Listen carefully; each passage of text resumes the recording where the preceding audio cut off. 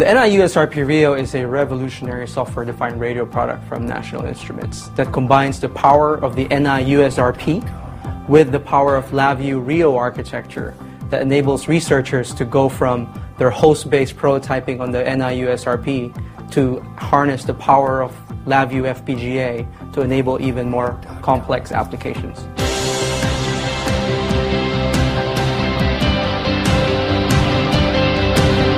What we've done with the uh, USRP Rio is we took the popularity of the NI USRP platform and put in a large Kintex 7 FPGA from Xilinx and added to that, of course, the power of LabVIEW system design software to program that FPGA.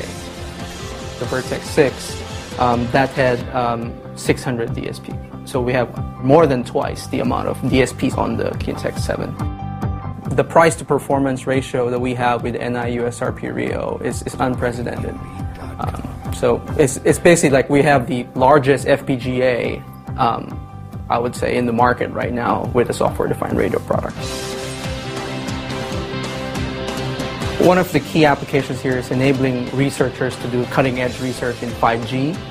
We have early customers that are doing massive MIMO, which is putting up to 100 antennas on the base station.